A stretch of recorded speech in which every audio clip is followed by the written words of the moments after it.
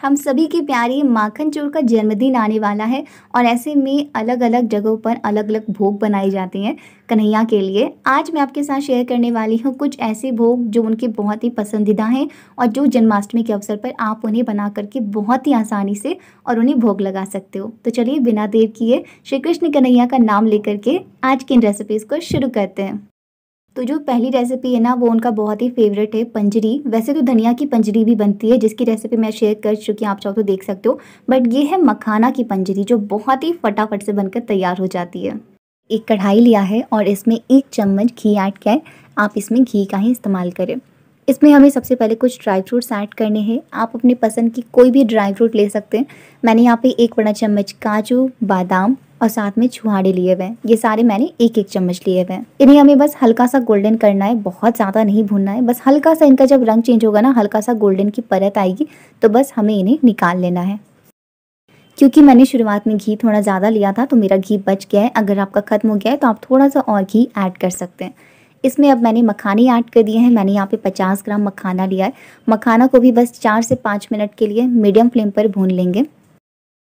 आप चाहे तो मखाने को हाथ से तोड़ के चेक कर सकते हैं। जब ये कुछ इस तरीके से टूटने लगेगा ना, ये देखिए, काफ़ी आसानी से ये क्रश हो जा रहा है, यानी कि ये बिल्कुल परफेक्ट भून चुका है।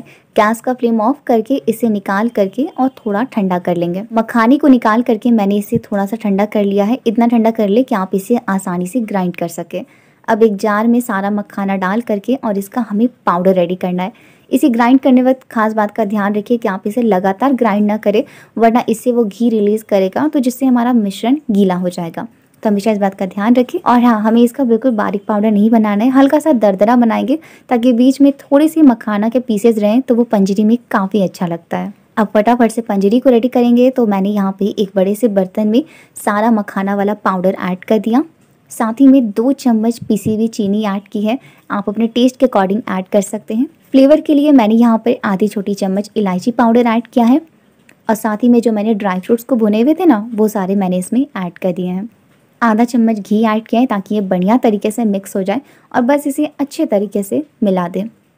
तो ये हमारे कन्हैया के भोग के लिए पंजरी बन करके तैयार हो चुकी है बहुत ही फटाफट से। अभी क्योंकि जन्माष्टमी है तो आप इसे जन्माष्टमी पे बना सकते हैं, वरना नॉर्मल डेज़ पे भी बना सकते हैं, क्योंकि इनमें जो ड्राई फ्रूट्स वगैरह ऐड किए हुए ना तो वो काफ़ी ज़्यादा हेल्दी है। तो आपने देखा कितनी फटाफट से हमारा ये मखाना पंजरी बन करके तैयार हो चुका है।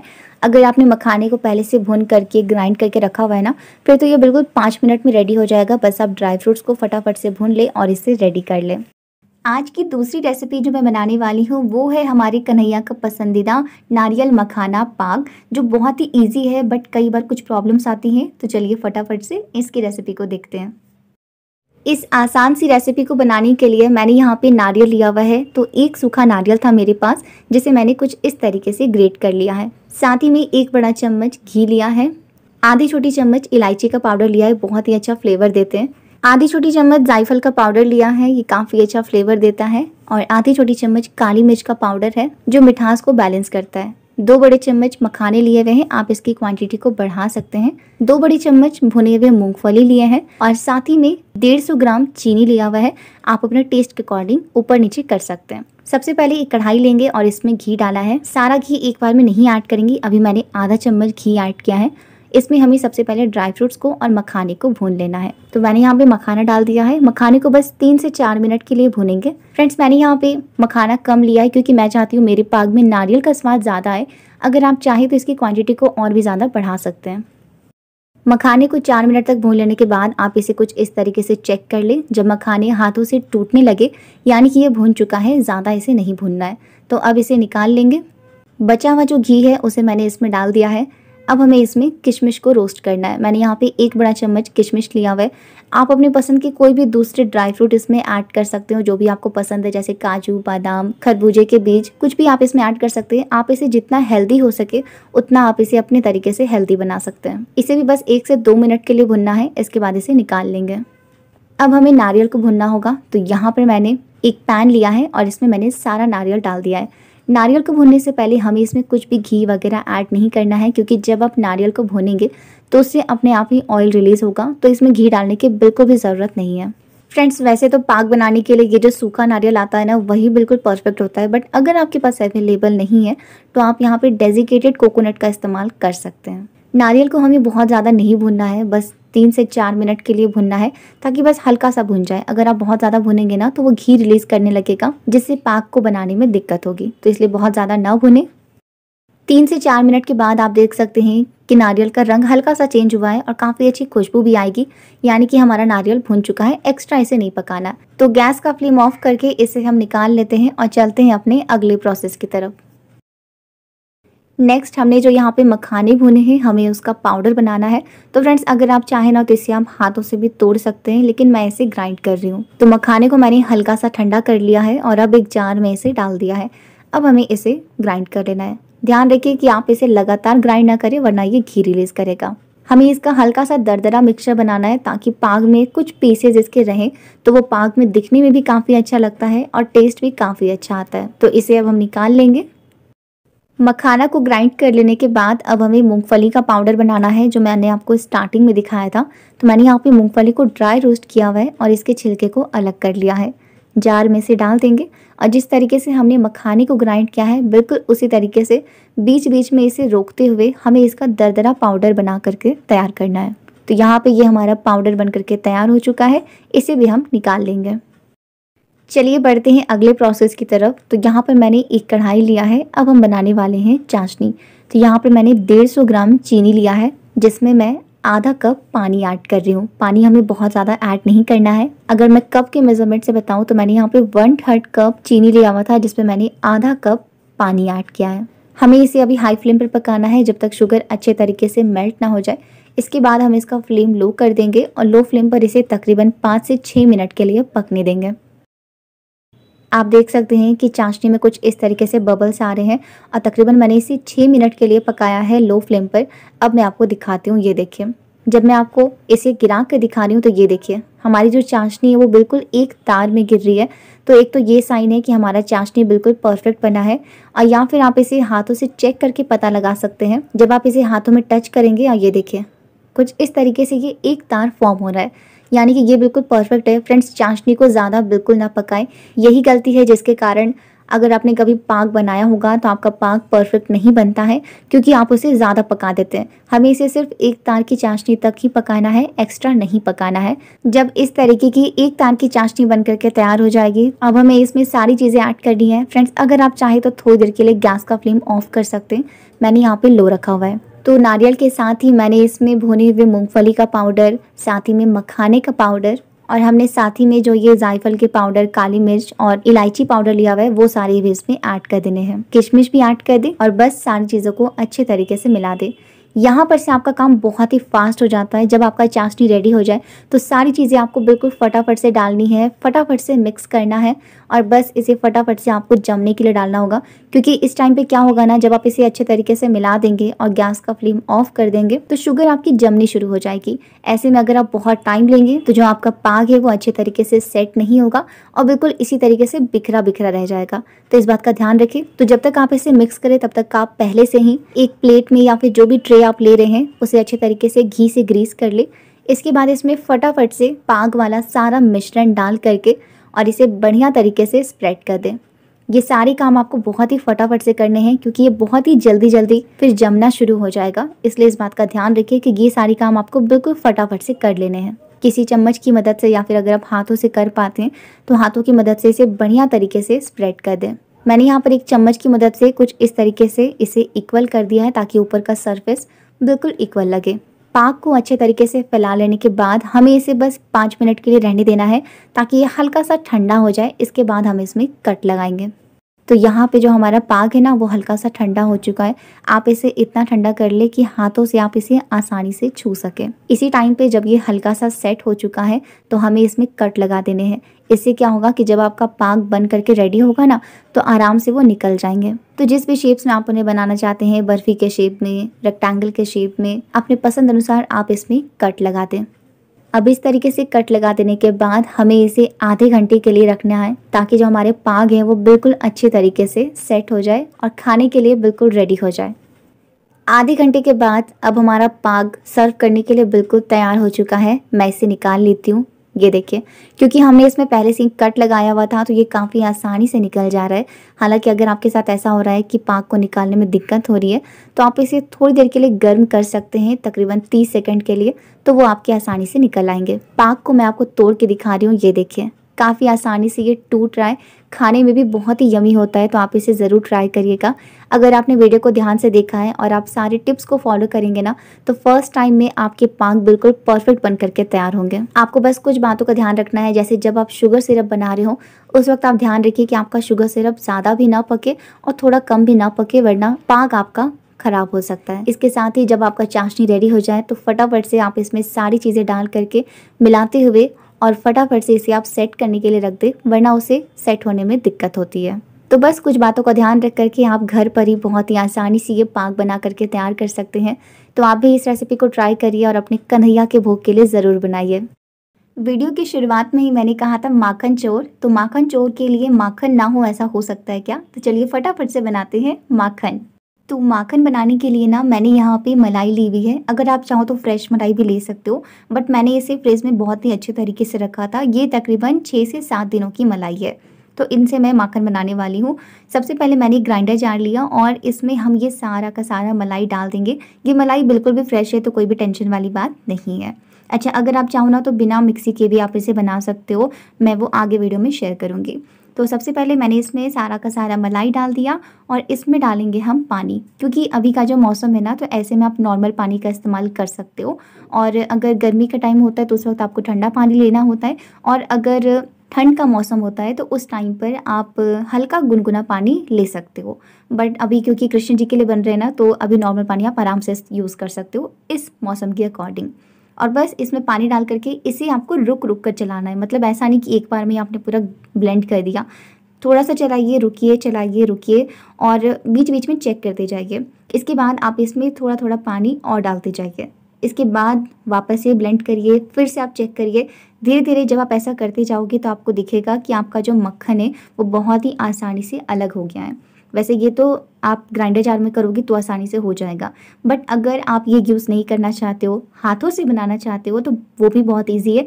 आप किसी बड़े बर्तन में ले लीजिए मलाई और उसमें आप पानी डालिए और उसे बढ़िया से मिक्स करिए। थोड़ी मेहनत लगेगी बट कुछ टाइम में ही लगभग छः से सात मिनट लग जाएँगे। और फिर आप देखोगे कि मिक्स करते करते करते करते आपका जो माखन है वो अपने आप अलग हो जाएगा। बस उसके बाद आप उससे सारा जो एक्स्ट्रा उसमें दूध है वो आप हाथों से दबा के निकाल लीजिएगा और आपका माखन तैयार हो जाएगा। वैसे आगे मैं आपके साथ एक और चीज़ शेयर करूँगी तो वीडियो में लगातार बने रहिए। तो मैंने यहाँ पे क्या किया कि जब सारा मक्खन अलग हो गया तो मैंने सारा उसे निकाल लिया। लेकिन अभी भी आप देख रहे होगे कि साइड में काफ़ी ज़्यादा दूध है तो अब हम इसे अच्छे से हाथों से दबाएँगे ताकि इसके अंदर जितना भी एक्स्ट्रा दूध है ना वो सारा का सारा निकल जाए। ये ना एक बहुत ही मतलब आसान से सिंपल सी रेसिपी है तो अगर आप जन्माष्टमी के दिन भी बनाओगे तो बहुत ही फटाफट से बन करके ना तैयार हो जाएगी। और बस इसके ऊपर आप मिश्री डाल देना, क्योंकि उन्हें माखन मिश्री के साथ काफ़ी ज़्यादा प्रिय है, और फिर आप उन्हें भोग लगा सकते हो। इसी के साथ अगर आप चाहो तो आप अलग फ्लेवर के साथ भी बना सकते हो। मतलब थोड़ा सा आप क्या करना ना, कि केसर वाला दूध रेडी कर लेना और उसे आप इसमें डाल करके कुछ टाइम के लिए मिक्स करना और फिर वापस से हल्का सा दबा देना। और वो आपका केसर का फ्लेवर वाला माखन बन जाएगा। आप अपनी पसंद के अनुसार बना सकते हो। तो माखन भी हमारा बन करके तैयार हो चुका है। चलिए फटाफट से बढ़ते हैं अपनी आखिरी रेसिपी की तरफ़। कन्हैया का एक और नाम लड्डू गोपाल भी है। तो आज उनके लिए बनाएँगे बेसन चूरमा के लड्डू जो इतनी ज़्यादा लाजवाब बनेंगे ना। चलिए इसकी रेसिपी को देखते हैं। तो इसके लिए यहाँ पर मैंने बेसन लिया हुआ है 300 ग्राम। कप से देखा जाए तो ये तकरीबन तीन कप बेसन है। यहाँ पर आपको मोटे वाले बेसन का इस्तेमाल करना है। इसमें मैं सबसे पहले डाल रही हूँ घी। आप चाहे लड्डू बना रहे हो या किसी भी तरह की मिठाई बना रहे हो, उसका जो असली स्वाद रहता है ना, वो घी में ही आता है। तो यहाँ पर मैंने तकरीबन तीन से चार चम्मच घी का इस्तेमाल किया है। घी को डाल देने के बाद इसमें बिल्कुल अच्छे तरीके से हमें मिला देना है, ताकि जो ये घी का जो मॉइम है ना, वो अच्छे तरीके से बेसन में मिक्स हो जाए। आप अगर चाहते हैं कि आपका लड्डू और भी ज़्यादा दानेदार बने तो आप इसमें सूजी का इस्तेमाल भी कर सकते हैं, बट मैंने इसमें नहीं किया है। बेसन को घी के साथ अच्छे तरीके से मिला लेने के बाद आप इसे बाँध करके ज़रूर चेक करें। अगर ये आसानी से बंध जाएगा, यानी कि बेसन में जो मोइम है, वो बढ़िया तरीके से मिक्स हो चुका है।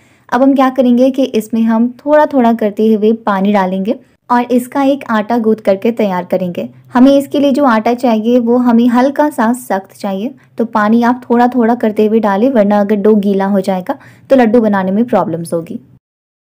तो यहाँ पर मैंने कुछ इस तरह से थोड़ी थोड़ी पानी डालते हुए इसका एक सख्त आटा बना करके तैयार कर लिया है। अब हमें क्या करना है कि इसकी हमें छोटी छोटी बॉल्स बना करके और कुछ इस तरीके से हाथों से बनाते जाना है। आप चाहे तो इन्हें पेड़े के शेप में भी बना सकते हैं, हल्का सा दबा करके, चपटा कर बट मैंने यहाँ पर इसे कुछ इस तरीके के शेप्स में बना लिए हैं। ध्यान रखिए कि इसे आप बहुत ज़्यादा मोटा ना रखें, हल्का सा पतला रखें। तो सारी जो बेसन की लोइयाँ थी, उससे मैंने कुछ इस तरीके से बना लिए हैं। अब हमें इन्हें फ्राई करना होगा तो इसके लिए मैंने यहाँ पर घी को गर्म होने के लिए रखा हुआ था। मैं इन्हें घी में ही फ्राई कर रही हूँ। घी में इसका स्वाद बहुत ही ज़्यादा लाजवाब आता है। ध्यान रखिए कि आप इसी घी या फिर तेल जिसमें भी फ्राई कर रहे हैं, उसे आप बहुत ज़्यादा गर्म ना करें। हल्का सा मीडियम गर्म तेल या फिर घी चाहिए। और अब जो मेरा घी है परफेक्ट गर्म हो चुका है। मैंने इसमें एक एक करके जो मेरे बेसन के सारे बॉल्स थे, वो मैंने डाल दिए हैं। मेरे थोड़ी ज़्यादा है तो मैं इन्हें दो बैचेस में फ्राई कर रही हूँ। ध्यान रखिए कि आप इसे अच्छे तरीके से फ्राई करें। फ्लेम की बात की जाए तो आपको लो टू मीडियम रखना है, क्योंकि अगर आप हाई फ्लेम रखोगे तो बहुत जल्दी जल्दी ऊपर से तो बेसन पक जाएगा, बट अंदर से वो कच्चा रह जाएगा, जिसके कारण जब आप उसके लड्डू बनाओगे तो उसमें अच्छा स्वाद नहीं आएगा और लड्डू कच्चा कच्चा लगेगा। लो फ्लेम पर पकने के कारण इसे पकने में थोड़ा सा समय लगता है तो आपको इसे थोड़ा पेशेंस के साथ पकाना है। अच्छी तरीके से इसे गोल्डन होने तक पकाए, ताकि बेसन अंदर ऊपर दोनों तरफ़ से बढ़िया तरीके से पक जाए। धीरे धीरे आप देख रहे होंगे कि अब इनका जो रंग है वो चेंज होना शुरू हो चुका है हल्का हल्का गोल्डन होना शुरू हो चुका है। तो यहाँ पे ये जो सारे बेसन के बॉल्स हैं, बहुत ही अच्छे तरीके से गोल्डन ब्राउन हो चुकी हैं। तो अब हम इन्हें निकाल करके साइड कर लेते हैं और जो बाकी बचे हुए बॉल्स हैं, उन्हें भी हमें बिल्कुल इसी तरीके से लो फ्लेम पर फ्राई करना है। ध्यान रखिए कि अगर फ्राई करते करते आपको ऐसा लग रहा है कि आपका घी या फिर तेल थोड़ा ज़्यादा गर्म हो गया है और जो बॉल्स हैं वो जल्दी जल्दी ब्राउन हो रहे हैं। लेकिन अंदर से कच्चे रह जा रहे हैं तो आप पहले गैस का फ्लेम ऑफ़ करके घी या फिर तेल को हल्का सा ठंडा कर ले। इसके बाद आप जो बचे हुए बॉल्स हैं, उन्हें फ्राई करें। तो सारी बॉल्स को बिल्कुल इसी तरीके से फ्राई कर लेने के बाद, अब हमें इसे छोटे छोटे टुकड़ों में तोड़ना है हाथों से। कुछ इस तरीके से, क्योंकि अब हम इसे ग्राइंड करने वाले हैं। तो कुछ इस तरह से इनका चूरा बना लेने के बाद अब मैं यहाँ पर एक ग्राइंडर जार ले रही हूँ, क्योंकि मैं इसे ग्राइंडर जार में ग्राइंड करने वाली हूँ। आप चाहे तो इसे आप खलपिट्टे पर भी कूट करके और इसके बाद उसे आप छान सकते हो। तो मैंने यहाँ पे जार में डाल दिया है सारा चूरा। मैं इसे दो बैचेस में ग्राइंड करने वाली हूँ, क्योंकि मेरा थोड़ा ज़्यादा है। और अब मैंने यहाँ पर इसे ग्राइंड करके और इसका पाउडर बना करके तैयार कर लिया है। ये देखिए।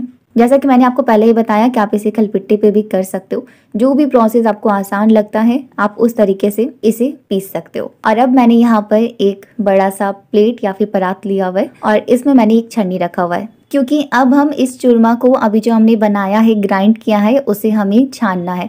ताकि अगर इसके ऊपर कोई बड़े टुकड़े हो, जो कि अच्छे से ग्राइंड ना हो पाया हो तो वो ऊपर ही रह जाए और नीचे में बिल्कुल बारीक वाला जो हमारा पाउडर है चूरमा का, वो नीचे आ जाए।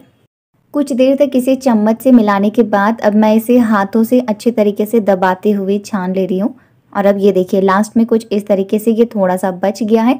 फ्रेंड्स मेरा थोड़ा सा ही बचा है तो मैं इसे साइड कर देती हूँ। अगर आपका थोड़ा ज़्यादा बचा हुआ है ना तो आप उसे वापस से ग्राइंड करके और फिर से छान करके इसमें डाल सकते हो। इसके बाद मैं इसमें डाल रही हूँ फ्लेवर के लिए दो बड़े चम्मच इलायची का पाउडर बहुत ही अच्छा फ्लेवर आता है इसमें लड्डू का। इसी के साथ मैं इसमें डाल रही हूँ चीनी का पाउडर। ये नॉर्मल चीनी थी जिसे मैंने घर में ग्राइंड करके यूज़ किया है। एक्चुअली एक तगार आता है जो कि स्पेशली लड्डू में डाला जाता है। अगर आपके पास वो है तो आप उसका इस्तेमाल भी कर सकते हो। चीनी की बात की जाए तो आप अपने टेस्ट के अकॉर्डिंग ऐड करें। मैंने यहाँ पर तकरीबन 200 ग्राम चीनी का इस्तेमाल किया है। इसी के साथ मैंने इसमें थोड़े से ड्राई फ्रूट्स ऐड कर दिए हैं, जिसे मैंने रोस्ट करके हल्का सा ग्राइंड किया हुआ है। ध्यान रखिए कि हमें उसका पाउडर नहीं बनाना इसलिए बिल्कुल हल्का सा ग्राइंड किया हुआ है। और अब हमें इन सारी चीज़ों को बिल्कुल बढ़िया तरीके से बेसन में मिला देना है। और इसे अच्छे तरीके से मिला देने के बाद ना ये हमारा चूरमा रेडी हो जाएगा। ये चूरमा राजस्थान में बाटी के साथ सर्व किया जाता है। लेकिन क्योंकि आज हम बनाने वाले हैं बेसन चूरमा के लड्डू तो इसके लिए अब हम इसमें डालेंगे घी। तो घी की जो क्वांटिटी है, वो डिपेंड करती है आपके बेसन पर। तो इसीलिए आप इसमें एक बार में ज़्यादा घी ना डालें। दो दो तीन तीन चम्मच करते हुए घी डालें। घी डालने से जो हमारे लड्डू बनेंगे, वो बिल्कुल परफेक्ट बनेंगे, बिल्कुल अच्छे तरीके से सॉफ्ट बनेंगे। थोड़ा थोड़ा घी डालने के बाद, उसे मिलाने के बाद कुछ इस तरीके से बाँध करके चेक करें। अगर ये आसानी से बन जाएगा ना, यानी कि ये साइन है कि हमारा लड्डू बिल्कुल परफेक्ट टेक्सचर में है, अब इसमें घी डालने की ज़रूरत बिल्कुल भी नहीं है। हालाँकि अगर आपका नहीं बन रहा है तो आप इसमें थोड़ा सा घी और डालें। तो यहाँ पर अच्छे तरीके से मिला देने के बाद, अब हमें फटाफट से लड्डू बनानी है। इनके लड्डू बनाने में बिल्कुल भी प्रॉब्लम नहीं होगी। आप बस थोड़ा सा हिस्सा लें, जितने बड़े, छोटे आप लड्डू बनाना चाहते हैं, और बस इसे हाथों से अच्छे तरीके से दबाते जाए। थोड़ा सा आप इसे हाथों में घुमाओगे तो वो बढ़िया तरीके से राउंड बन जाएगा। आइए देखो, पहला लड्डू बनकर तैयार हो चुका है। बिल्कुल दानेदार बना है। जब आप बनाओगे ना तो बनाने से ही आपको बिल्कुल वो पता चलेगा कि वो कितना अच्छा दानेदार बन रहा है। बांधने में बिल्कुल भी प्रॉब्लम नहीं होगी। बहुत ही अच्छे तरीके से, आसानी से बन जाएगा। इसी तरीके से मैंने आपको एक और लड्डू बना करके दिखाया। बिल्कुल इसी तरीके से बाकी सभी लड्डू को हमें बनाते जाना है। तो लड्डू की ऊपर से तो आपने देख ली कि कितना परफेक्ट लग रहा है। अब मैं आपको इसके अंदर का हाल दिखाती हूँ। ये देखिए। लग रहा है ना, बिल्कुल दानेदार और बिल्कुल परफेक्ट हमने इसमें सूजी का भी इस्तेमाल नहीं किया है, फिर भी ये बहुत ही बढ़िया दानेदार बनता है। तो हमारी आज की ये चारों रेसिपीज़ बनकर तैयार हो चुकी हैं। चारों बहुत ही आसान है और बहुत ही टेस्टी हैं और हमारे लड्डू गोपाल के फेवरेट है। इनमें से आप कौन सी रेसिपी ट्राई करने वाले हो? और अगर आप और भी रेसिपीज़ देखना चाहते हो तो मैंने पहले ही बहुत सारी रेसिपीज़ अपलोड की हुई हैं, जिनका मैंने एक प्लेलिस्ट बना दिया है और उसका लिंक डिस्क्रिप्शन में आप ज़रूर से चेक करिएगा। तो मिलूँगी आपसे किसी दूसरी वीडियो में। तब तक के लिए आप बढ़िया से धूमधाम से जन्माष्टमी मनाइए और अपने पूरे परिवार के साथ खुश रहिए, स्वस्थ रहिए। Thank you so much Radhe Radhe. जय श्री कृष्ण।